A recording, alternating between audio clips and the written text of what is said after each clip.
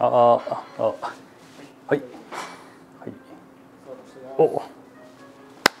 はい回しました。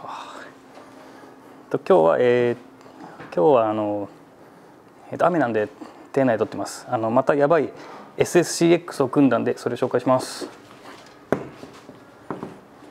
でこっちはまた違う人の。これよくあの皆さんインスタグラムで見るオールシティ。でこっちはあのマッチョマンディスクっていうギア付きのモデルに、えー、とフィルフィルセントリックフィルウッドのあの可変式の BB をつけてシングルにします。でこれは、えー、とネイチャーボーイ。ネイチャーボーイっていうとシングルスピード専用のフレームになってでカーボンフォークのあのネイチャーボーイの一番いいやつです。これがフレームフォークセットで、えー、と16万円ぐらいです。でこれはちょっと金額はあのピーしておきます。で今回もですけどグランピーっぽい感じでゴールドの真上カゴをつけてこれ面白いのはカーボンフォークなんですけどここにダボ穴があるんでここにカゴつけれます。でここの内部だけアルミの入ってるんでカゴつけても大丈夫です。でそれとハンドルを、まあ、グランピーっぽい感じでレンサルのハンドルつけてます。もともとはオフロードバイクのハンドルなんですけど、まあ、こういう感じでつけたらかっこいいです。それをもういきなりここでもう止めてるっていうガシッと止めます。あとはこのカゴなんですけど多分本当はここをまっすぐにした方がいいと思うんですけどこの角度この方があのカゴがいい位置に来るんで今あえてこうやってます。でもしこれ重い荷物乗せた場合だとここがずれてこうなってきます。でグリップが、えっと、ODI 使ってます。えー、で先日あのクリス・キングのヘッドパーツのターコイズが廃盤になってまだターコイズがあったんでターコイズつけてます。でそのうちフロントハブをターコイズのクリス・キングにして後ろクリス・キングの、えー、とシルバーにするみたいです。で BB もクリス・キングのターコイズカラーを使ってます。でこれ面白いのが、えーとまあ、シングルスピード専用のフレームになってるんでとサーリーのシングル用のハブを使ってますでこれはえー、とさっき来たんですけどあれ？さっきあった。でサーリーのハブは、えーとまあ、これ珍しいんですけど135の幅の、えー、とディスクブレーキのこれフリーギアになってます。でこれの固定ギアのハブも今出てるんで、まあ、個人的に今度組んでみようかなと思います。でホワイトインダストリーズの1万2000円のフリーギアをつけてます。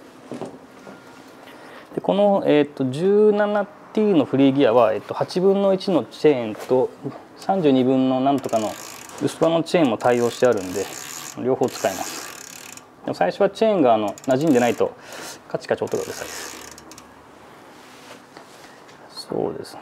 あとはまあ 700C で組む人が多いんですけど今回あえて 650B のホライゾンで組んでます、まあ、こっちの人もそうですね。もともとはあのこういう茶色なんですけど使い込んでくるとこういう白っぽくなってきます。かっこいいです。まあ、こういうのがあの街中でも使いやすいし多分何台か自転車持ってもこういうスタイルを一番乗ると思うんであの実はすごいおすすめです。で今日入ってきた2台フレームがあるんですけどまたオールシティ組んでいきます。これはネイチャーボーイ853この青いやつの1個。前の旧モデルになります。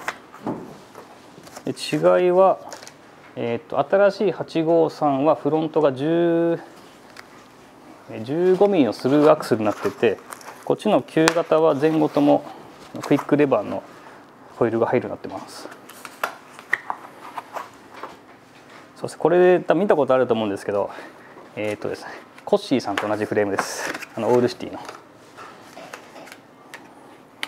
シングルスピードでシクロクロスが出るとかっこいいと思います。ちょっとネギっぽいんですけどあの実際見るとすごい綺麗な色です。これが49サイズフロントフォークめっちゃ綺麗。でそういう感じです。オールシティだらけです。で今このフレームはあともう1本あるんであと2人組んでいきます。えー、と1人がドロップハンドルで組んでもう1人がこういう感じのフラットバーで組んでいきます。そんなとこですかね。ちょっと30秒ぐらい待ってください。僕の自転車持ってきます。やばい外雨降ってます。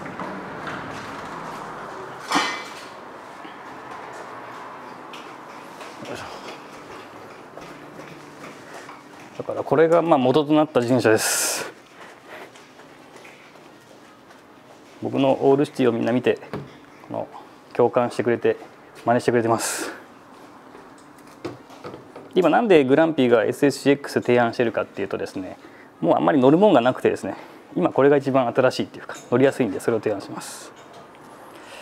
えー、と以上です。特に押しはないです。だからまあ街中で一番乗りやすい自転車ってなると前かごがあってフラットバーでシングルスピードっていうのが1個のまあキーワードになるんでそういうふうに自転車組んでいくといいかなと思います。えー、でオールシティまだフレーム在庫国内にあるんでもしあのどうしても欲しいなっていう人があれば、まあ、コメント欄に問い合わせとかあとメールで問い合わせ待ってます。じゃあ終わります。